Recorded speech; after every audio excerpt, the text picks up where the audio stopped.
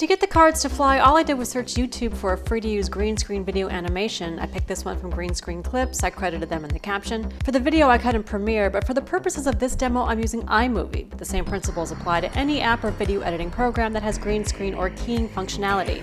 The video of me and the child goes down first, then I add the card video, click this little drop down and select green slash blue screen.